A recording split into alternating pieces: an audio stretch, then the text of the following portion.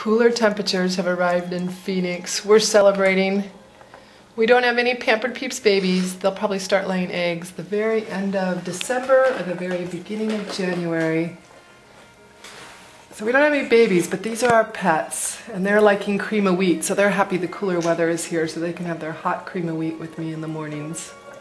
This is Emma. She is my gray, and she started plucking about a year ago. She doesn't any longer. If you look at her, come here, Emma.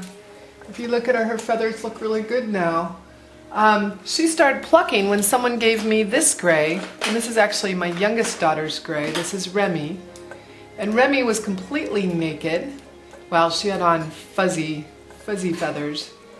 And she stopped plucking basically, hello Remy. She start, stopped plucking when she got here, so she's done really well. So she stopped plucking, totally grew in, and Emma started plucking.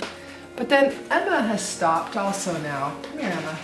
Come show off your beautiful feathers. So they both look good now, and I'm happy. And they both like their cream of wheat, but they don't like each other. you want more cream of wheat?